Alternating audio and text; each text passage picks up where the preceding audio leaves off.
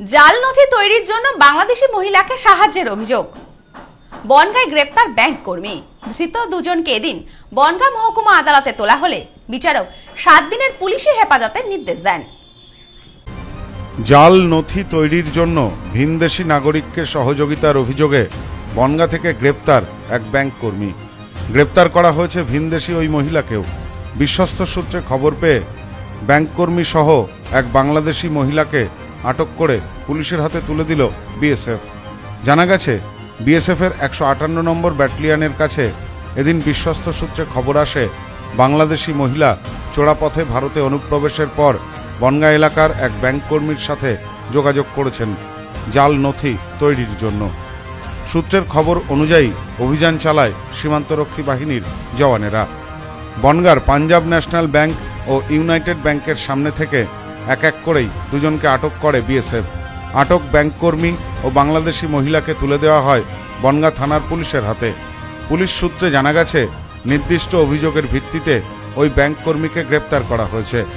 ধৃত ব্যাংক কর্মী পাঞ্জাব ন্যাশনাল ব্যাংকের বনগাঁ শাখায় কর্মরত। নাম, বিদ্যুৎ সরকার। বাড়ি, স্বরূপনগর থানার উত্তর কাঁচদহ গ্রামে।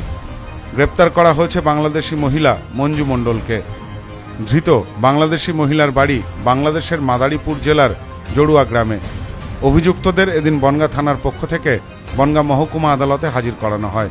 পুলিশের পক্ষ থেকে অভিযুক্তের সাত দিনের পুলিশি হেফাজতের আবেদন জানানো হয়। আদালত সেই আবেদন মঞ্জুর করেছেন। এ বিষয়ে বনগা মহকুমা আদালতের সরকারি আইনজীবী অসীম কুমার দে বলেন, ব্যাংককর্মী বিদ্যুৎ সরকার অবৈধভাবে জাল নথি তৈরি করে দেবার অভিযোগে আটক করেছে বিএসএফ। ঘটনায় বাংলাদেশি মহিলা মঞ্জু মণ্ডলকেও আটক করা হয় বিএসএফের পক্ষ থেকে। অভিযুক্ত দুজনকে এদিন বনগা থানার পক্ষ থেকে আদালতে হাজির করানো হয়েছিল।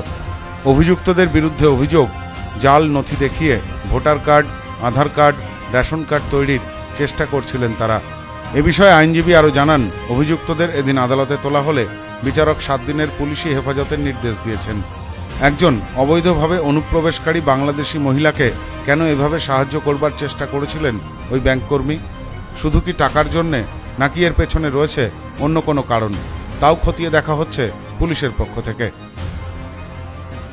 গতকাল বিএসএফ ইউনাইটেড ব্যাংক এবং পাঞ্জাব ন্যাশনাল ব্যাংকের সামনে থেকে দুজন মানুষকে, দুজন আসামিকে গ্রেপ্তার করেছে। একজনের নাম বিদ্যুৎ সরকার আর একজনের নাম মঞ্জু মণ্ডল। বিদ্যুৎ সরকারের বাড়ি হলো স্বরূপনগর থানায়। মঞ্জু মণ্ডলের বাংলাদেশের নাগরিক। তাদের Aadhaar card photo identity card এবং রেশন কার্ড জালিয়াতির অভিযোগে ধরার পরে আজকে বনগা থানায় পাঠান, পাঠায়। বনগা থানার থেকে তাদের কৃষি চেলে সাত দিনের পিসি ক্রিয়া এলাও হয়েছে। সব্যসাচী ভট্টাচার্য ও সোমনাথ দাসের রিপোর্ট, নিউজ, নোম্যান্সল্যান্ড, বনগা। আদি মোহিনী মোহন কাঞ্জিলাল বিপুল সম্ভার নিয়ে এবার বনগাঁতে। শিমুলতলা মোড় যশোর রোড। শুভ উদ্বোধন